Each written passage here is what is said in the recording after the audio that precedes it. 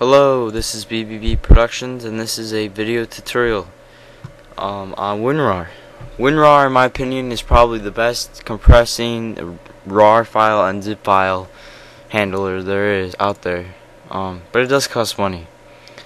Basically, you can just go to Google and type in WinRAR and you can find tons of places to download it, but you're going to be downloading the trial. If you want to buy it, you can pay a lot of money and just buy the code key to activate it.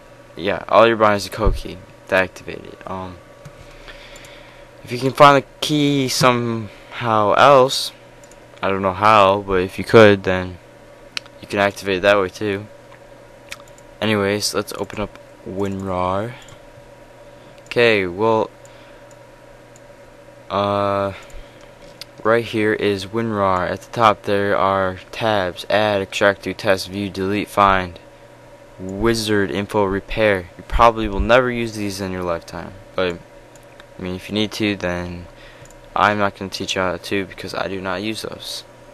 Uh, well the delete you just select the file and then delete whatever. Um, basically where these are is I clicked on the file Shanghai Nights that is where all these files are located now, after you download these RAR files, you need to put them all together. So you select all of them, and then you go up here to extract to. This is one of the tabs that you will use.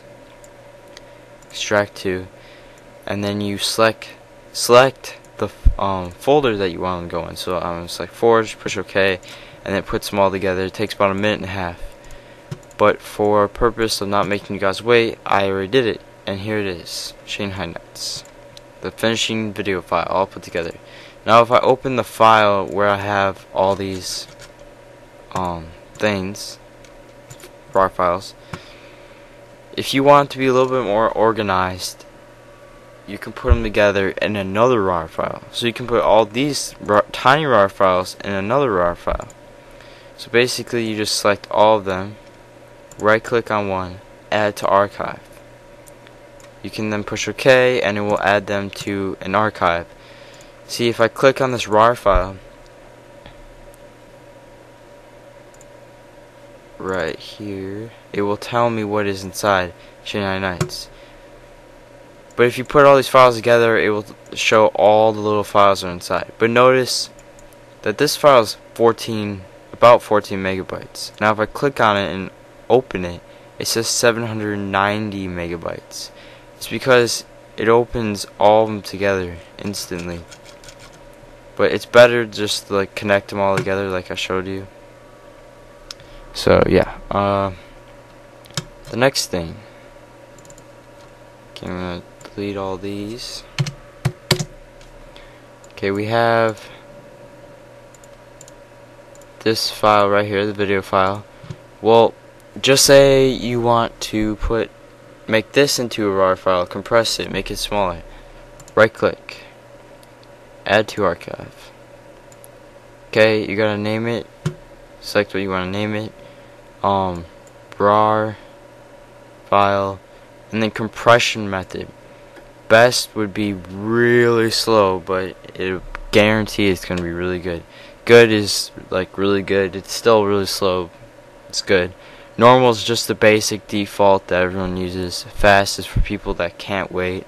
Fast is people that probably want their RAR files to get fucked up and they really have no patience. That might not be true for everyone, but I'm just saying. Um, split volumes to bytes. These are bytes. Um,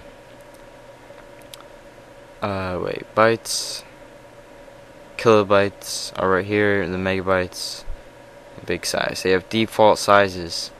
See, this would be 98 megabytes. This is 4 gigs. Uh, this is I don't know.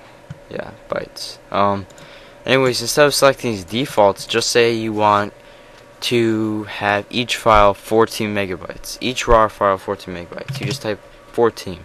If you type in 14, it's not going to work. You gotta push space and B for megabytes. If you don't know what to put in there, see kilobytes is KB, MB.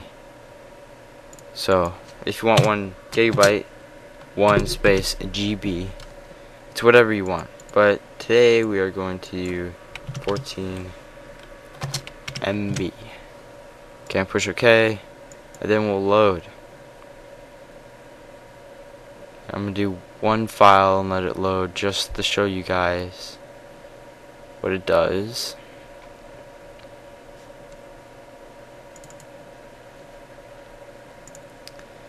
Alright, there's one file. It is not exactly 14 megabytes because the total size of the movie file, if you had each thing 14 megabytes, you would have extra files that are like 300 kilobytes or something. So they just add a little bit more on there, and that's okay. Uh, and that is basically it, and that's how you use WinRAR, and it's a excellent file, and I highly recommend that you get it. There are free ones out there if you can find them. Otherwise, yeah. Uh, thank you for watching this video. Make sure to rate this video and also subscribe to my YouTube.